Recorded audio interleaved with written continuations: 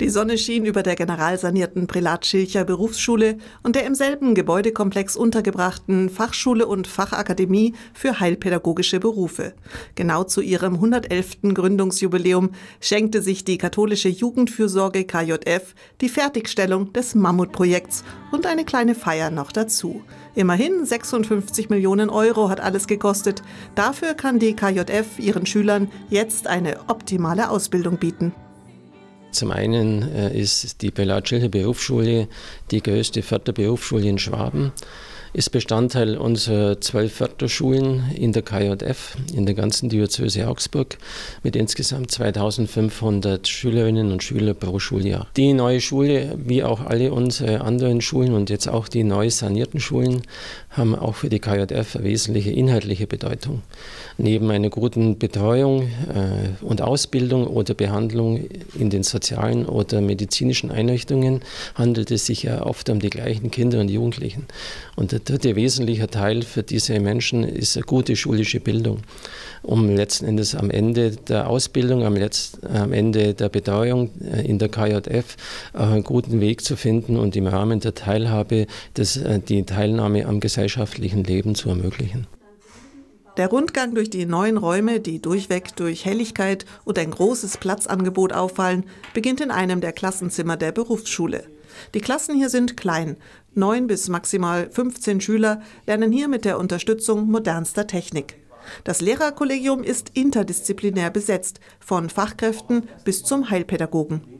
Für unsere Schüler ganz wichtig ist in so einem Klassenzimmer, ist der, die Ruhe und die Konzentrationsmöglichkeiten so einem Lernraum.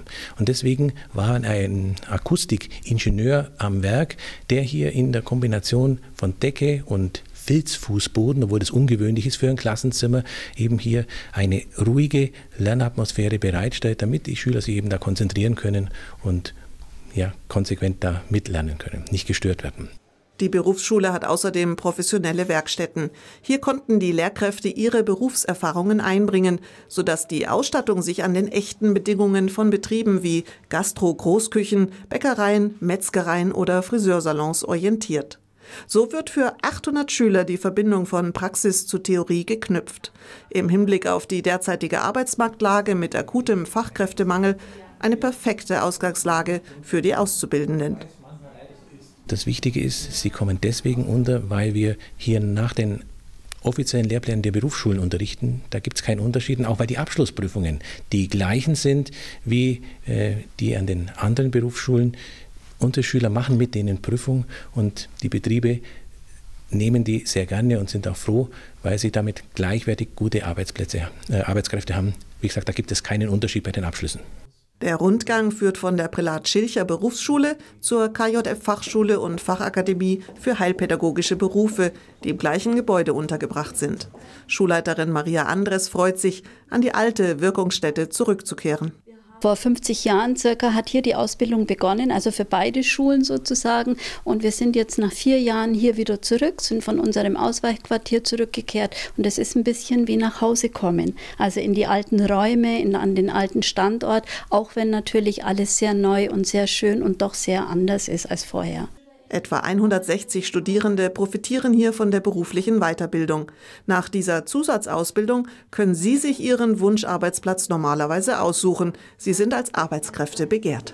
Im Moment ist es so, wir bekommen die Plätze alle voll, Gott sei Dank. Das ist so, aber wir merken schon, dass der Bewerbungsansturm, der noch vor zehn Jahren zum Beispiel groß war, gerade in der Fachakademie für Heilpädagogik, haben wir mit einer Warteliste gearbeitet. Das ist nicht mehr so.